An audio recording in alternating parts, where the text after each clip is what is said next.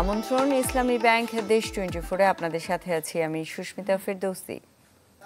ফের বন্যা আতঙ্কে উত্তর অঞ্চল। এরই মধ্যে তিস্তা সহ সব নদ নদীতেই পানি বাড়ছে, প্লাবিত হয়েছে নিম্নাঞ্চলগুলো। দুর্ভোগে কয়েক হাজার পরিবার। আবহাওয়া পর্যবেক্ষণ কেন্দ্র জানিয়েছে, বৃষ্টি অব্যাহত থাকলে পরিস্থিতি খারাপ হতে পারে। ভারতের গজলডোবার সবগুলো গেট খুলে দেয়ায় বেড়েছে তিস্তার পানি। লালমনিরহাটে ফের প্লাবিত নিচু এলাকা। ডুবে গেছে হাতিবান্ধা কালীগঞ্জ আদিতমারি ও সদরের বেশ কয়েকটি গ্রাম। এতে পানিবন্দী প্রায় সাত হাজার পরিবার। ঘর বাড়ি সবগুলো তলা। এখন তো আমাদের রান্না বান্নারও সমস্যা খাওয়ারও সমস্যা। ঘর দৌড় আবার সমস্ত ডুবে গেছে। ছাওয়া বাওয়া নিয়ে এসছি আস্তাত খাটার ব্যাগ ডুবে গেছে। নীলফামারীর ডিমলাতেও প্লাবিত হয়েছে পনেরোটি গ্রাম। তলিয়েছে ফসল ঘর আঙিনায় পানি ওঠায় বিপাকে দুই হাজার পরিবার। বাচ্চা কাচ্চা ছোট বাচ্চা নিয়ে এদিকে সাপ আসে অনেক পোকামাকড় আসে এগুলো নিয়ে খেতা বালিশ নিয়ে খাবার নিয়ে আমরা কোথায় যাই রাস্তায় দাঁড়াই। প্রতি বছরে এই অবস্থা। আমরা সরকারের কাছে রিলিফ সিলিফ কিচ্ছু চাই না। আমাদের এটাই দাবি যে যাতে নদী শাসন বার্তা হয়ে যায় তাহলে আমরা এখান থেকে হয়তো বাঁচি যাব। কুড়িগ্রামে কাউনিয়া পয়েন্টে বেড়েছে পানি। সাথে ফুসতে শুরু করেছে দুধকুমার ধরলা ব্রহ্মপুত্র। পানি ঢুকছে লোকালয়ে। বিভিন্ন ভাঙন কবলিত এলাকা আমরা পরিদর্শন করছি এবং যেখানে যে প্রয়োজনীয় ব্যবস্থা নেওয়া দরকার আর কি আমরা সেই সব ব্যবস্থা গ্রহণ করছি। তলিয়ে গেছে রংপুরের গঙ্গাচড়া কাউনিয়া ও পীরগাছা উপজেলা। খাবার বিশুদ্ধ পানির অভাবে দেখা দিয়েছে নানা দুর্ভোগ। এক কমর পানি ওই উয়াতে ভাসি ভাসি বেড়াইছে। কাল বিকেলে রান্না করছি ওই পর্যন্ত রান্না করা শেষ। আমরা এখনও রান্না করতে পারি নাই চুলের মধ্যে পানি। পাহাড়ি ঢল ও অবিরাম বৃষ্টিতে পানি বৃদ্ধি পেয়েছে গাইবান্ধার যমুনা ঘাগট করতোয়া সহ সব নদ নদীর। চার উপজেলার ষোলোটি চরে পানি ওঠায় বিপাকে পাঁচ শতাধিক পরিবার। আবহাওয়া অফিসের তথ্যে উত্তরে বৃষ্টি অব্যাহত থাকলে বাড়তে পারে দুর্ভোগ। সরাবান্ত হুরাজিনিয়া চ্যানেল টোয়েন্টি ফোর। উত্তরাঞ্চলে বন্যা পরিস্থিতির আরও খবর জানাতে রংপুর থেকে যুক্ত হচ্ছেন ফখরুল শাহিন। ফখরুল। আমি আছি রংপুরের গঙ্গাছড়া উপজেলার লক্ষ্মীটার ইউনিয়নে এবং কিশোর চন্দ্রের বাসায় আছি। আমরা দেখতে পাচ্ছি যে এই বাড়িতে কিন্তু পানি উঠে গেছে এবং আমরা দেখছি যে রান্নাঘরে এবং থাকার ঘরে সবখানেই কিন্তু হাঁটু পানি আমরা দেখতে পাচ্ছি। এই কারণে আসলে তাদের চলাফেরা এবং রান্না করার কিন্তু খুবই সমস্যা হচ্ছে। তারা বলছেন যে গতকাল হঠাৎ করেই বিকেলে বৃষ্টির পরেই তাদের বাড়িতে পানি ঢুকে পড়েছে। শুধু এই এলাকা নয় রংপুরের যে পীরগাছা আছে, কাউনিয়া আছে, এই তিনটি উপজেলায় কয়েক হাজার মানুষ কিন্তু পানি পানিবন্দী হয়ে পড়েছে। এবং এখনও কিন্তু পানি কমছে না। গতকাল যে বাড়িতে পানি ঢুকেছে তারপর থেকে কিন্তু পানি বাড়তেই আছে তারা বলছেন এখনও আসলে পানি করার, কমার কোনো সম্ভাবনা তারা দেখছেন না। এবং আমরা তাদের সঙ্গে কথা বলেছি, পানিবন্দী মানুষদের সঙ্গে। তারা বলছেন যে, তারা গতকাল থেকে পানিবন্দী হয়ে আছেন। রান্না বান্না করতে পারছেন না, তাদের খাওয়ার সমস্যা হচ্ছে। কিন্তু প্রশাসনের পক্ষ থেকে, স্থানীয় প্রশাসনের পক্ষ থেকে তারা কোনো ধরনের এখনও সহযোগিতা পাননি, কেউ খোঁজ খবর নিতে আসেনি। তবে তারা বলছেন যে তারা এই সহযোগিতা চান না। তারা চান যে তিস্তা যেন মহাপরিকল্পনা যেটি আছে যদি খনন এটি করা হয় এবং এখানে একটি বাঁধ দেওয়া হয় তারা বলছেন যে এখানে কোনো বাঁধ নেই এই কারণেই আসলে তিস্তার পানি তাদের বাড়িতে বাসা বাড়িতে ঢুকে যায় চরাঞ্চল নিম্নাঞ্চল প্লাবিত হয় তারা বাঁধ নির্মাণের কিন্তু দাবি আহ, জানাচ্ছেন এবং আপনাকে জানিয়ে রাখি সেটি হচ্ছে যে কাউনিয়া রংপুরের যে কাউনিয়ার পয়েন্ট আছে তিস্তার সেখানে কিন্তু আমরা দুপুরে খোঁজ নিয়েছি, পানি উন্নয়ন বোর্ডের সঙ্গে কথা বলে। সেখানে তারা জানিয়েছেন যে প্রায় চুয়াল্লিশ সেন্টিমিটার উপর দিয়ে প্রবাহিত পানি। আর রংপুরে শুধুমাত্র তিস্তার পানি নয় ঘাগট আছে এবং অন্যান্য যে নদ নদীগুলো আছে, সেগুলোও কিন্তু পানি ফখরুল, আপনাকে ধন্যবাদ। উত্তরাঞ্চলে বন্যা পরিস্থিতির খবর জানাচ্ছিলেন রংপুর থেকে ফখরুল শাহিন। এবারে অন্য প্রসঙ্গ। বরিশাল শেরে বাংলা মেডিকেল কলেজে এক ছাত্রীকে র্যাগিং এর অভিযোগ নিয়ে সংবাদ সংগ্রহের সময় হামলার শিকার হয়েছেন সাংবাদিকরা। এতে চ্যানেল টোয়েন্টি ফোরের ক্যামেরা পার্সন সহ আহত হন চার সংবাদকর্মী। ভাঙচুর করা হয় ক্যামেরা ও সরঞ্জাম।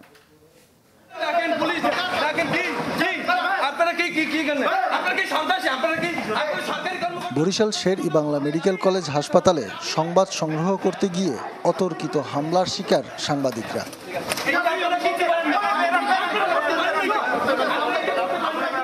জানা যায়, কলেজের তৃতীয় বর্ষের এক ছাত্রী র্যাগিংয়ের অভিযোগ করেন। শনিবার সকালে সে খবর সংগ্রহে যান বিভিন্ন গণমাধ্যমের সাংবাদিক।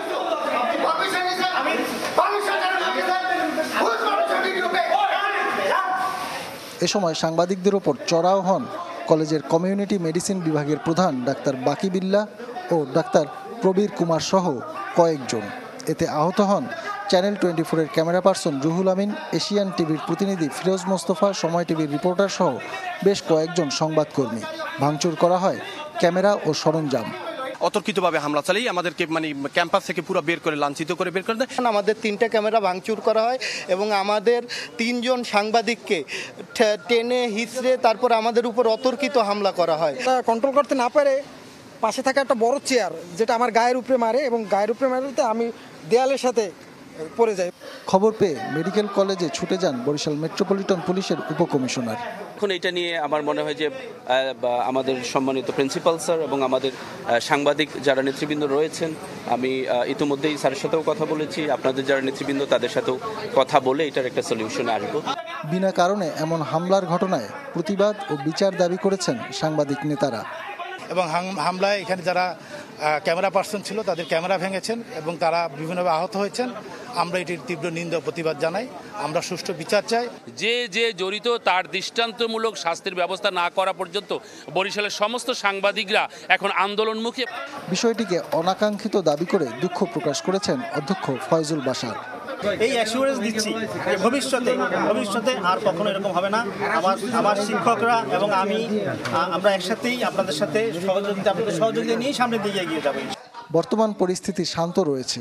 তবে ক্ষতিপূরণের বিষয়ে এখনও সিদ্ধান্ত জানায়নি মেডিকেল কলেজ কর্তৃপক্ষ। Kausar Hossain Rana, channel twenty Barishal. এ বিষয়ে আরও জানাতে বরিশাল থেকে যোগ দিচ্ছেন কাউসার হোসেন রানা। রানা, সর্বশেষ পরিস্থিতি জানাবেন।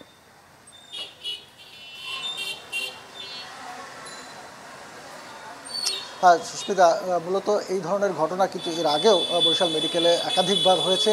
বরিশাল মেডিকেল কলেজ হাসপাতালে রোগীর হাসপাতালে ওষুধ চুরি বিষয়ে সংবাদ সংগ্রহ করতে গিয়ে নানান সময় হেনস্থা হয়েছেন সাংবাদিকরা এমনকি রোগীর খোঁজ খবর নিতে গিয়ে বা রোগীর অবস্থার সংবাদ করতে গিয়েও সাংবাদিক হামলার শিকার হয়েছেন সাংবাদিকরা এবং কি ক্যামেরা ভাঙচুরের মতো ঘটনা এর আগে ঘটেছে।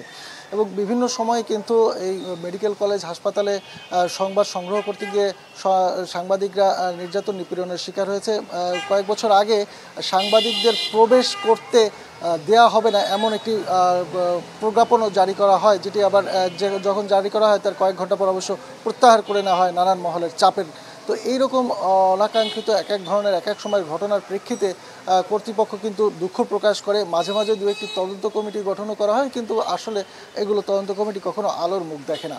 সুশীল সমাজ যেটি বলছেন যে এখানে যারা রয়েছেন তারা সমাজের খুবই উচ্চ পর্যায়ের লোক শিক্ষিত এবং বিশেষ করে এটি বরিশালের একটি খুবই স্পর্শকাতর জায়গা যেখানে বরিশালের রোগীরা চিকিৎসাধীন থাকে, যেখান থেকে শিক্ষকরা শিক্ষার্থীরা চিকিৎসক হয়ে বের হয়। সেখান থেকে এই ধরনের ঘটনা একেবারেই অনাকাঙ্ক্ষিত।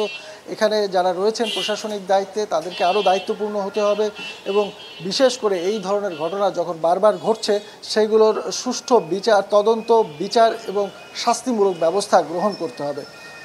এবং বর্তমানে সেখানে পরিস্থিতি শান্ত থাকলেও অন্যান্য যারা রয়েছেন ভুক্তভোগী তাদের মধ্যে কিন্তু ক্ষোভ বিরাজ করছে। এই ছিল এখানকার সর্বশেষ পরিস্থিতি। রানা আপনাকে ধন্যবাদ। বরিশাল থেকে আমাদের সাথে যোগ দিয়েছিলেন কাউসার হোসেন রানা। এবারে অন্য প্রসঙ্গ। রাজধানীর দারুস সালামে ঢাকা মহানগর উত্তর আওয়ামী লীগের খাদ্য সামগ্রী বিতরণ অনুষ্ঠানে বক্তব্য দিচ্ছেন দলের সাধারণ সম্পাদক ওবায়দুল কাদের। সরাসরি চলে যাচ্ছে সেখানে।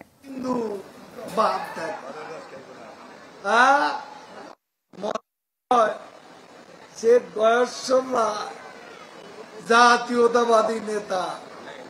ও সেদিন একদিন ডিবি অফিসে নিয়ে গেছে। মারধর করেন। ডিবি অফিসে নিয়ে হারুন, সে বলল বয়সদা দাদা, আপনার জন্য কিশোরগঞ্জের পুকুর থেকে এ মাছ খান, দাদা। হ্যাঁ ভালোই তো ভালো ভালো। কোরাল মাছ ভালো। এগুলো কোনো চরিত্র আছে? গায়ে একটা বাড়িও পড়ে না আঘাতও পড়ে না তার আগেই ফরফর করে। ওই ফলের রসও ভালো, তারপরে কোরাল মাছও ভালো। তারপরে আবার কিছু খাইছে, কিছু কিছু আবার প্যাকেট বান্ধা বাসায় নিয়ে গেছে। এগুলো ওপেন ছবি আছে। তো এগো কোনো ইমান আছে? আছে? ইমান আছে শেখাত না ঝিনাইদহের দুই উপজেলায় আলাদা ঘটনায় বিদ্যুৎ স্পৃষ্টে মামে সহ তিনজনের মৃত্যু হয়েছে। পুলিশ জানায়, সকালে হরিণাকুণ্ড উপজেলার গোবরাপাড়া গ্রামে নিজের ঘরে বিদ্যুতায়িত হন মহিরুন্নেছা পরে তাকে বাঁচাতে গিয়ে বিদ্যুৎ- স্পৃষ্ট হন মেয়ে তাসলিমাও এতে ঘটনাস্থলেই মারা যান দুজনই। পরে তাদের মরদেহ উদ্ধার করা হয়। এদিকে কালীগঞ্জ উপজেলার গোপীনাথপুর গ্রামে পুকুরে দেয়া বৈদ্যুতিক ফাঁদে জড়িয়ে মারা গেছেন কৃষক আব্দুল হালিম নামে আরেকজন।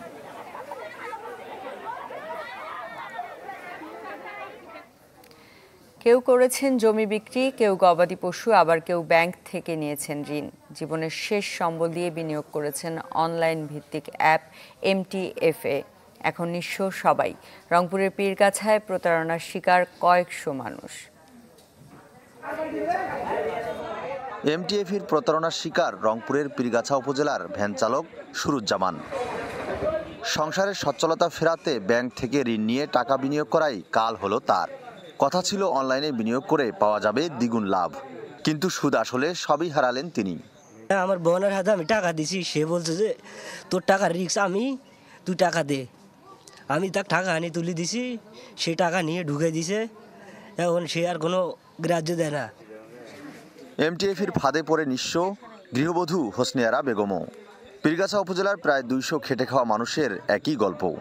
তাদের অভিযোগ প্রগতি সমিতির প্রধান নির্বাহী কর্মকর্তা আমিনুল সুজা হজরত আলী ও কর্মী সিরাজুলের প্ররোচনায় এমটিএফিতে বিনিয়োগ করে এই পরিণতি তাদের। ওরা বলতেছে না দাও তোমাদের বালা হবে।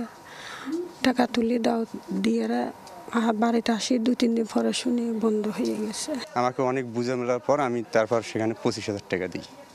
পঁচিশ হাজার টাকা দেওয়ার পর এটা দু মাসখানিকের মধ্যে সেটা আউট হয়ে যায়। আমার মোবাইলে ঢুকাই দেন ফিরিয়াজে আসি নিয়ে যান তিন লক্ষ টাকা। ফিরিয়াজে দেখে ঢুকাই দিয়ে ওই লোকও নেই টাকাও নেই। এখানে সিও আছে এটা অফিস ছিল এখানে মিটিং করছে করে সবাইকে ডাকছে ডাকে সবাই ব্রেন ওয়াশ করাইছে। অভিযুক্তরা পলাতক থাকলেও পাওয়া যায় প্রগতি সমিতির কর্মী সিরাজুলকে। প্রথমে ক্যামেরার সামনে কথা বলতে না চাইলেও পরে সব দোষ চাপান সমিতির শীর্ষ কর্মকর্তাদের ওপর। না না, আমার মাধ্যম তো না, এখানে হচ্ছে মন, মেন ব্যক্তি হলো মোট তিনজন। আমাদের সিও সাহেব, আমিনুল আমিনুল ইসলাম, তারপর হচ্ছে কামিং সিও সুজা ইসলাম, আবার কামিং সিও হচ্ছে হজরত আলী। এদের মাধ্যমে মন, মোট সবগুলো ইয়ে করছে, আর হচ্ছে আমরা সেমিনারের মাধ্যমে সব কিছু জানতে পাইছি, এই। প্রতারণা এড়াতে অনলাইনে বুঝে শুনে টাকা বিনিয়োগের পরামর্শ আইটি বিশেষজ্ঞদের। তো আমি সবার উদ্দেশ্যে বলব যারা আসলে এই ধরনের এই ধরনের কোম্পানির সাথে জড়িত আছেন তাদের উচিত হবে একটা মেইন কাজে ফোকাস দেওয়া বা রিয়েল একটা কাজে ফোকাস দেওয়া। রিয়েল একটা কাজ করেন ভবিষ্যতে খুব ভালো থাকবে এরকম লাভ হওয়ার কোনো সুযোগ থাকবে না। শুধু এমটিএফই নয় এসপিজি ও কাটলি সহ নানা অ্যাপসে বিনিয়োগ করে প্রতারিত হওয়ার অভিযোগ রয়েছে। এদের বিরুদ্ধে কঠোর ব্যবস্থা নেওয়ার দাবি ভুক্তভোগীদের। Fakhrul Shahin, channel twenty four, Rangpur. Phulbari tragedy দিবস আজ। দিনাজপুরে নানা আয়োজনে পালিত হচ্ছে দিবসটি। সকালে শহীদ স্মৃতিস্তম্ভে ফুল দিয়ে শ্রদ্ধা জানান তেল, গ্যাস, খনিজ সম্পদ ও বিদ্যুৎ বন্দর রক্ষা জাতীয় কমিটির সদস্য সচিব অধ্যাপক আনু মোহাম্মদ। এ সময় জেনায়েত সাকি সহ স্থানীয় জনপ্রতিনিধিরা উপস্থিত ছিলেন। পরে হয় আলোচনা সভা। দুই হাজার ছয় সালের এই দিনে উন্মুক্ত পদ্ধতিতে কয়লা খনি প্রকল্প বাতিল। জাতীয় সম্পদ রক্ষা ও বিদেশি কোম্পানি এশিয়া এনার্জিকে প্রত্যাহারের দাবিতে আন্দোলনে নামেন জনগণ। এ সময় আইনশৃঙ্খলা বাহিনীর গুলিতে প্রাণ হারান তিনজন। আহত হন দুই শতাধিক।